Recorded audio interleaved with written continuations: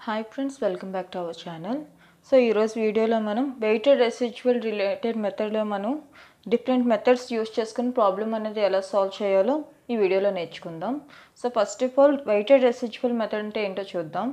The weighted residual method is employed to obtain approximate solution to linear and non linear problems so మనం linear తీసుకొచ్చి non linear ఏదైనా సరే మనం problems అన్ని మనం అప్రాక్సిమేట్ సొల్యూషన్ అనేది ఫైండ్ అవుట్ చేయాలి అంటే మనకి one of the best method is weighted residual method so weighted residual మెథడ్లో మనకి ఫోర్ టైప్స్ ఆఫ్ మెథడ్స్ ఉంటాయండి. అది point collection method subdomain collection method least square method Galerkin's method so ఇందులో మనకి ఈచ్ మెథడ్ అసలు అంటే ఏంటి? నెక్స్ట్ వన్ ఏంటి అంటే ఒక్కొక్క మెథడ్ కూడా మనం ప్రాబ్లం ఎలా సాల్వ్ చేస్తామో ఈ వీడియోలో నేర్చుకుందాము. సో ఫస్ట్ ఆఫ్ ఆల్ ఒక క్వశ్చన్ చూద్దామండి solve the differential equation for a physical problem expressed as d square y by dx square plus hundred is equal to zero limits zero less than or equal to x less than or equal to ten with boundary conditions as y of 0 is equal to 0, y of 10 is equal to 0, x of 0 is equal to 0 using this four methods. అంటే మనం ఈ four methods use చేసుకొని మనకి ఈ differential equation ఏదైతే ఉందో solve చేయమంటున్నాడు. So ఇందులో మనకి ఏంటి అంటే లిమిట్స్ అనేవి జీరో టు టెన్. ఎక్స్ అనేది జీరో టు టెన్ అనేది ఉంది. నెక్స్ట్ బౌండరీ కండిషన్స్ మనకి వై ఆఫ్ జీరో వాల్యూ అనేది మనకి జీరో తీసుకుంటున్నాం. వై ఆఫ్ టెన్ వాల్యూ అనేది జీరో తీసుకున్నాం. సో ఈ టూ లిమిట్స్ యూజ్ చేసుకొని ఫస్ట్ మనం ఒక ట్రయల్ ఫంక్షన్ అనేది ఫైండ్ అవుట్ చేయాలి. సో ఒక ట్రయల్ ఫంక్షన్ అనేది ఫైండ్ అవుట్ చేసిన తర్వాత దాని నుంచి మనం మనకి మెథడ్ అనేది వెయిటెడ్ రెసిజువల్ మెథడ్ అన్నాడు కాబట్టి వెయిటెడ్ రెసిజువల్ మెథడ్లో మనం ఒక ఫంక్షన్ అనేది ఫైండ్ అవుట్ చేయాలి weighted residual function so function ఎప్పుడైతే వచ్చిందో ఆ ఫంక్షన్ యూస్ చేసుకొని మనం ఇందులో ఏ మెథడ్ యూస్ చేసుకున్నా సరే మనం ఈక్వేషన్ని మనం ఈజీగా సాల్వ్ చేయొచ్చు. సో మన గివెన్ డేటా ఏమి ఇచ్చాడండి? ఈక్వేషన్ ఇచ్చాడు. D square y by dx square plus hundred is equal to zero limits zero to ten x అనేది మనకి జీరో టు టెన్ అనేది ఇన్ బిట్వీన్ ఉంది. సో ఫస్ట్ ఈక్వేషన్ వన్ అని అనుకుంటామండి. ఇది దీన్ని గవర్నింగ్ ఈక్వేషన్ అని తీసుకుంటున్నాం. సో ఎక్స్ అనేది మనకి zero to ten in between రేంజ్లో ఉంది. బౌండరీ కండిషన్స్ మనకి y of zero is equal to zero y of ten is equal to zero. So ఈ టూ బౌండరీ కండిషన్స్ బేస్ చేసుకొని మనం ట్రయల్ ఫంక్షన్ అనేది అసలు ఎలా ఫైండ్ అవుట్ చేయాలో ఇప్పుడు చూద్దాం.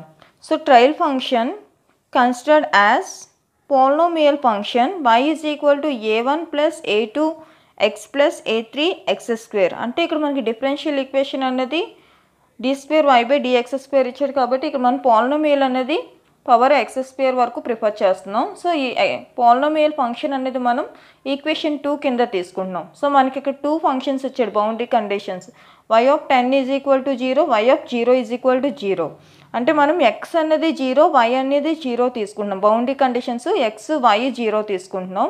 సో ఇక్కడ ఆల్రెడీ మనం సెకండ్ ఈక్వేషన్ పాలినోమియల్ ఫంక్షన్ ఏదైతే ఉందో వై వాల్యూ అనేది వై ఆఫ్ జీరో ఇక్కడ ఎక్స్ వాల్యూ అనేది జీరో కింద సబ్స్టిట్యూట్ చేసుకుంటే మనకి ఏ వన్ వాల్యూ అనేది జీరో వచ్చింది. అంటే ఇక్కడ వై ఆఫ్ జీరో అంటే మనకి క్వశ్చన్లో ఆల్రెడీ బౌండరీ కండిషన్ జీరో ఇచ్చాడు కాబట్టి జీరో తీసుకున్నాం. A one plus a two x x value is zero. A three plus x అనేది ఇక్కడ మనకి జీరో కాబట్టి జీరో స్క్వేర్ తీసుకున్నాం. So zero zero into anything zero. A one value అనేది మనకి ఇక్కడ జీరో వచ్చింది. అంటే మనం ఇక్కడ first boundary condition y of zero అంటే x value zero y value zero తీసుకుంటే ఇక్కడ మనకి ఏ వన్ వాల్యూ వచ్చింది. సో సెకండ్ బౌండరీ కండిషన్ మనకి y of ten is equal to zero అని ఇచ్చాడు. అంటే x value ten y value అనేది ఇక్కడ మనం టెన్ తీసుకొని పాలినోమియల్ ఈక్వేషన్ ఏదైతే ఉందో సెకండ్ ఈక్వేషన్లో మనం సబ్స్టిట్యూట్ చేస్తున్నాం. Y of ten value already known value that is zero so a one plus a two x value ten అలాగే ఇక్కడ కూడా ఎక్స్ వాల్యూ అనేది ten ten whole whole square అయింది. సో దీని నుంచి మనం ఏంటి అంటే ఏ టూ అనేది ఫైండ్ అవుట్ చేస్తున్నాం. అంటే ఇక్కడ ఏ టూ వాల్యూ అనేది మనకి మైనస్ టెన్ ఏ త్రీ వస్తుంది. ఇక్కడ ఏ వన్ వాల్యూ అనేది మనకి జీరో వచ్చింది అలాగే ఏ టూ వాల్యూ అనేది మైనస్ టెన్ ఏ త్రీ వచ్చింది. So a one a three అనేది మనం ఇక్కడ డిఫరెన్స్ పాలినోమియల్ ఫంక్షన్ ఏదైతే ఉందో పాలినోమియల్ ఫంక్షన్లో మనం ఇక్కడ సబ్స్టిట్యూట్ చేస్తున్నాం. ఏ వన్ వాల్యూ జీరో తీసుకున్నాను ఏ టూ వాల్యూ అనేది minus ten a three plus a three x square so ఇందులో మనకి ఏంటి అంటే ఏ త్రీ అనేది కామన్గా తీసుకోవచ్చు. అంటే ఏ త్రీ ఇక్కడ ఎక్స్ ఉంది ఇక్కడ ఎక్స్ స్క్వేర్ ఉంది. ఏ త్రీ ఎక్స్ అనేది నేను కామన్ తీసుకుంటే ఇక్కడ మనకి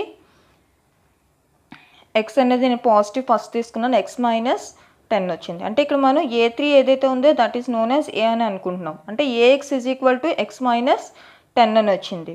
Hence trial function y is equal to ax of x minus ten అంటే మనకి ఏదైతే ఫంక్షన్ వచ్చిందో దీన్ని మనం ట్రయల్ ఫంక్షన్ అనేది తీసుకుంటున్నాం. యాక్చువల్గా మీకు ఎగ్జామ్లో ఇచ్చినప్పుడు ఏంటి అంటే ట్రయల్ ఫంక్షన్ అనేది క్వశ్చన్లోనే ఇస్తాడు. ఒకవేళ క్వశ్చన్లో ఇవ్వకపోతే మనం పాలినోమియల్ ఫంక్షన్ అనేది తీసుకొని బౌండరీ కండిషన్స్ ఏవైతే ఉన్నాయో వాటి హెల్ప్ తీసుకొని మనం ఇక్కడ ట్రయల్ ఫంక్షన్ అనేది ఫైండ్ అవుట్ చేయాలి. సో వన్స్ ట్రయల్ ఫంక్షన్ అనేది వచ్చింది కాబట్టి మనం ఇక్కడ ఏం చేస్తాము అంటే ఇప్పుడు రెసిజువల్ ఫంక్షన్ అంటే వెయిటెడ్ రెసిజువల్ ఫంక్షన్ అనేది ఫైండ్ అవుట్ చేయాలి. సో వెయిటెడ్ రెసిజువల్ ఫంక్షన్ ఎప్పుడైతే ఫైండ్ అవుట్ చేస్తామో ఆ ఫంక్షన్ హెల్ప్ తీసుకొని మనం ఫర్దర్గా ఫోర్ మెథడ్స్ యూస్ చేసుకుని ఫైనల్గా డిఫరెన్షియల్ ఈక్వేషన్ అనేది మనం ఈజీగా సాల్వ్ చేయొచ్చు. సో అసలు మనం వెయిటెడ్ రెసిజువల్ ఫంక్షన్ అనేది ఎలా ఫైండ్ అవుట్ చేయాలో ఇప్పుడు చూద్దాం. Now differentiate the above equation with respect to x అంటే మనం ఇక్కడ వై ఫంక్షన్ ఏదైతే ఉందో దీన్ని మనం మనకి క్వశ్చన్లోని d square y by dx square అంటే సెకండ్ డెరివేటివ్ ఇచ్చాడు. సో మనం ఏదైతే వై ఫంక్షన్ ఉందో దీన్ని మనం ఫస్ట్ డెరివేటివ్ చేస్తామో అలాగే సెకండ్ డెరివేటివ్ కూడా ఫైండ్ అవుట్ చేస్తాం అప్పుడు మనకి d square y by dx dx square value అనేది వస్తుంది. సో ఫస్ట్ ఫస్ట్ డెరివేటివ్ ఎలా ఫైండ్ అవుట్ చేయాలో చూద్దాం. ఫంక్షన్ నేను తీసుకున్నామండి. సో మల్టిప్లై చేసేయండి. Ax into x ax square minus ten ax so దీని ఫస్ట్ డెరివేటివ్ ఏంటి అంటే dy by dx is equal to a x square అనేది మనకి డెరివేటివ్ టూ ఎక్స్ అవుతుంది. అలాగే మైనస్ టెన్ ఏ అనేది ఏదైతే ఉందో అది కాన్స్టెంట్ ఎక్స్ డెరివేటివ్ అనేది వన్ అవుతుంది. అంటే dy by dx is equal to two ax minus ten a వస్తుంది. ఇది ఫస్ట్ డెరివేటివ్ మళ్ళీ మనం దీనికి సెకండ్ డెరివేటివ్ అనేది ఫైండ్ అవుట్ చేయాలి. Again differentiate the above equation with respect to x d square y by dx square is equal to two a అనేది మనం ఇక్కడ కాన్స్టెంట్ తీసుకుంటున్నాం. ఎక్స్ వాల్యూ అనేది వన్ అవుతుంది. సో ఇక్కడ మైనస్ టెన్ ఏ ఏదైతే ఉందో ఇది మనం కాన్స్టెంట్ అంటే కాన్స్టెంట్ డెరివేటివ్ అనేది మనం ఫైండ్ అవుట్ చేయాలి అంటే దానికి డిఫరెన్షియల్ ఇక్కడ మనకి వాల్యూ అనేది జీరో అవుతుంది. So ten into a into zero zero అవుతుంది. మనకి d square y by dx square value అనేది టూ ఏ వచ్చింది. D square y by dx square అనేది మనకి వాల్యూ టూ ఏ వచ్చింది కదండి.